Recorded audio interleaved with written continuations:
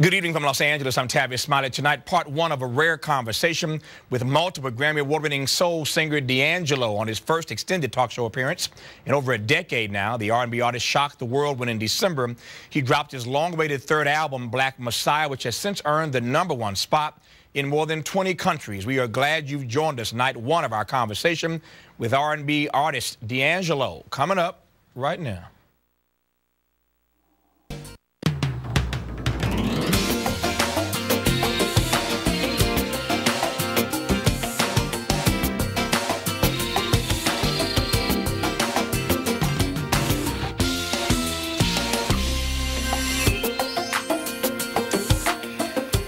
Been waiting on this a long time. I am honored to welcome the multiple Grammy Award-winning musician D'Angelo to this program. This past December, without any warning, the talented artist released his long-awaited third album, Black Messiah, which went on to top music charts around the globe, in fact. Before we start our conversation, though, first a look at his Saturday Night Live performance of the song Really Love from the new album.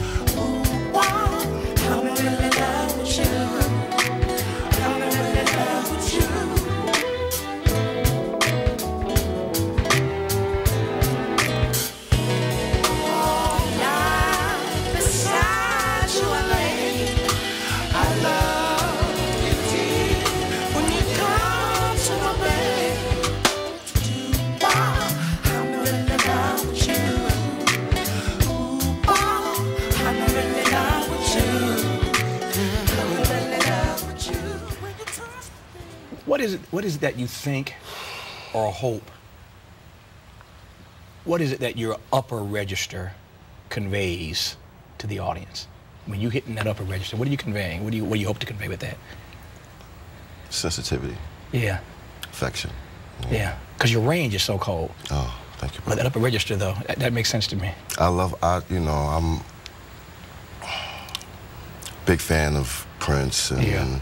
Curtis Mayfield Mm-hmm. and um, Smokey Robinson. Yeah. So I love. It, it's, it's something to be said about um, a man who can be very masculine but still display that sensitive side, and that Yeah. falsetto does it perfectly. Yeah. Prince has certainly been a guest on this program many times and love him to death, love him to life, Yes, another way. absolutely. Um, Prince certainly has gotten his accolade. Smokey Robinson, greatest songwriter ever, Yes. perhaps. Poet, Um. Smokey's gotten his accolade. Curtis Mayfield, to this day, still does not get the respect he deserves. What do you make of that? And tell me more about your fascination, your love of his gift. Wow. I, I, I would have to agree with you on that. I think that Curtis, to the to the masses, is a bit underrated. Um, it's funny because But not the songwriters, though. Not I mean to cut the you off. song- the right, masses, you're right. The songwriters, dig Curtis Mayfield. musicians, Yeah. and surprisingly, a lot of like uh, white Mm-hmm. rockers, rock and roll cats, really, really respect Mm-hmm. Curtis Mayfield. The, but, I mean, that's how me and Eric Clapton met. Actually, we were doing a tribute for him Mm-hmm. right before he died. Um, he was getting inducted to Rock and Roll Hall of Fame.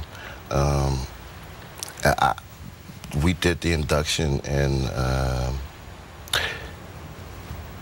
he wasn't able to attend. He, he gave his acceptance speech over the via satellite. Right. And not too long after he died, I called Eric that night and, you know, told him that Curtis had passed. But yeah, I, Curtis, uh, the thing I love about Curtis so much, in history with the impressions and everything, but those songs, he, he was one of the forerunners with Bob Dylan as far as like protest songs, and um, that, I think a lot of people sleep on that or, or forget that about him. Yeah. because he gets so known for the Superfly thing, you Yeah. know. But wow, he was a great, protest song. remember talking to Sinead O'Connor one time on this program, and she couldn't stop talking about Curtis Mayfield. And he's kind of like, Sinead O'Connor loves. I mean, it was just, it was. I, I mean, I appreciated her appreciation of Curtis. Yes. Which leads me to ask, as you tra- I, I, I was just blown away with. Um, I was thrilled. Thrilled is a better word to see how well this project, Black Messiah, has been received around the globe Yes, sir. when you travel outside of the country, um, what is it about your music, about that groove that the audience internationally responds to? I know, I know what our tradition is. Yes. But what, what, what are they grooving to? I would. I think the spirit of it. Yeah. You know, more than anything, I think music is such a universal language, and it's one thing I'm learning. We've been in the past three years. We've been in like five different continents. You know, and um, uh, that was one of the things that I, I, I really see. You know, it crosses all lang- barriers of language and culture, and um, I think people really feel the spirit of it.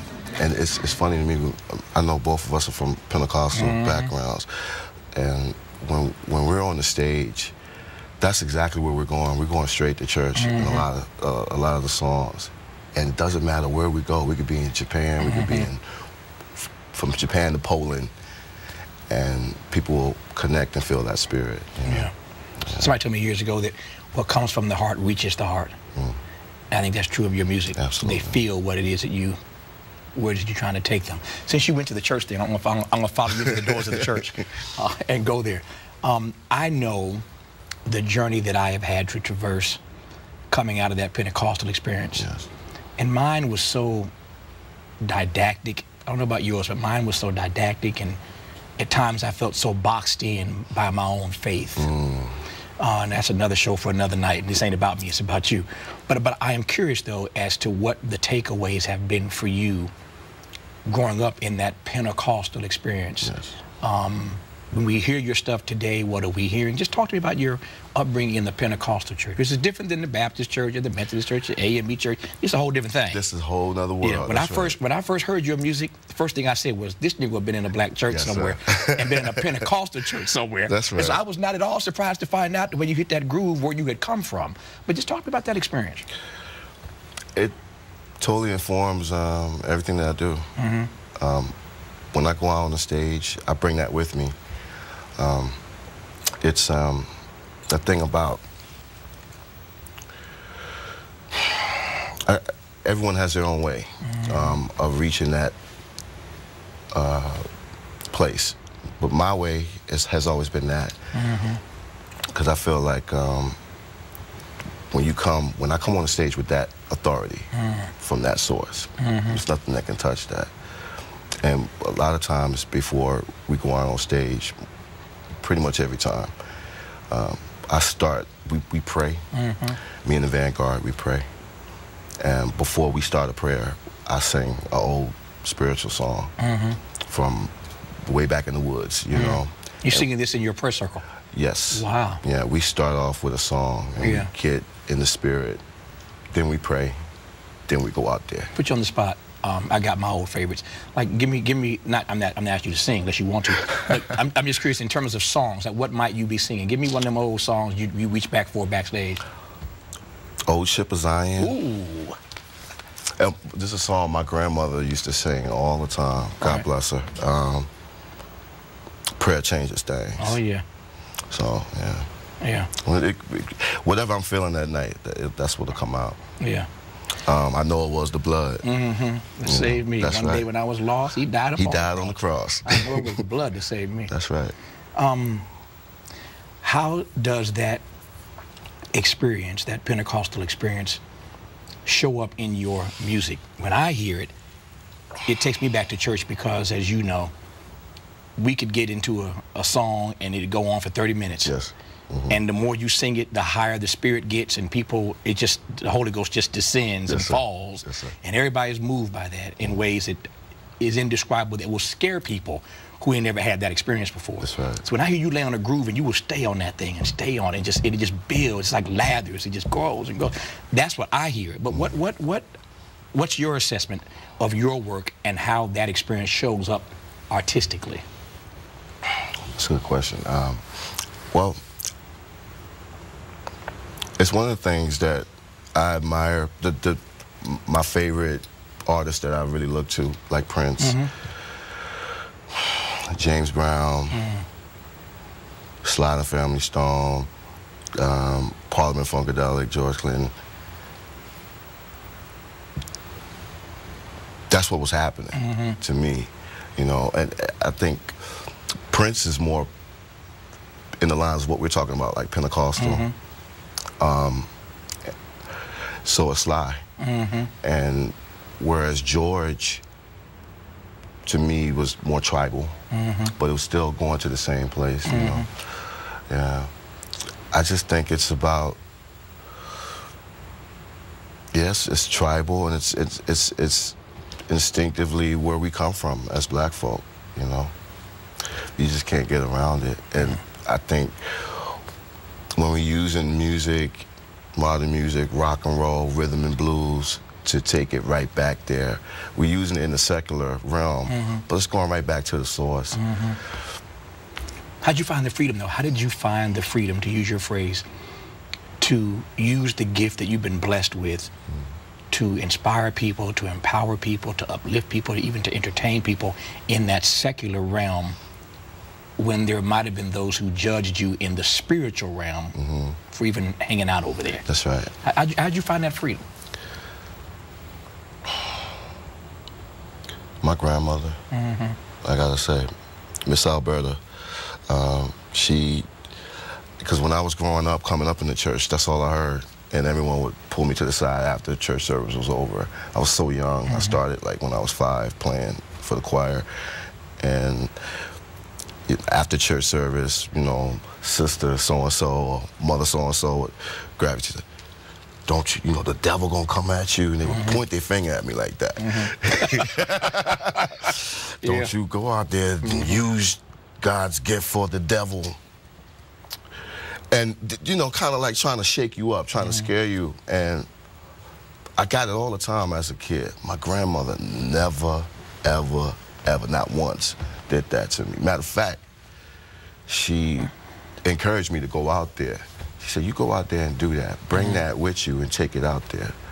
You know, and that was, that frees me up right there. Mm -hmm. That freed me up back then. And it's encouraging because